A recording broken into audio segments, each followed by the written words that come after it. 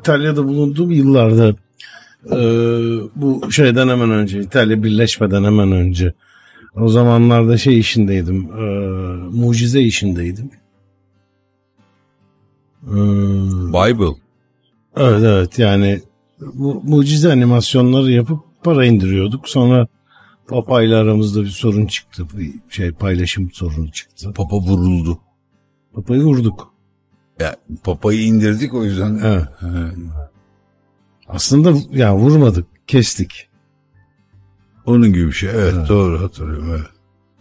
Ee, sonra yeni yeni gelen papayla da bir papaz olduk yani. Onu da hatırlıyorum. Çünkü zaten papazlardan oluyormuş. Zaten papa. İrlanda'daydık abi. Evet. İrlandalı bir papazmış. Papa yaptılar. Evet. evet. Yani Ha, şey, papaz olmamız da Yani çok olmaz. normal yani. Evet, Şimdi evet. Olmaz. Ee, Dolayısıyla o, o işte e, çok iyi gitmedi yani bir tane çok iyi bir mucize yapmıştım. Ee, tasarım yani bayağı. Mesela bugün yapsam bugün parayı vururuz yani.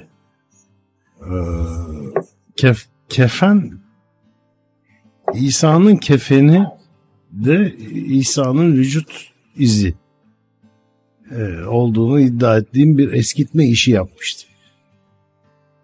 90 başları falan. Ee, 1780'ler 1700 1790 başları. 90 başları falan.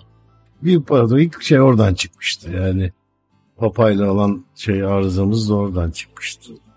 Daha sonra kitap işine girdik biz. Ee, şey- Papyrus. Yok daha sonra Papyrus'tan sonra şey kutsal e, kutsal metinler e, bu Vatikan kütüphanesinde hala da var bir bir miktar. Akşam yazıyorduk sabah satıyorduk yani. Çok iyi. Ben hayalime hatırlıyorum o yüzden. Ben ne anlatıyordum onu tam hatırlamıyorum. Ama çok-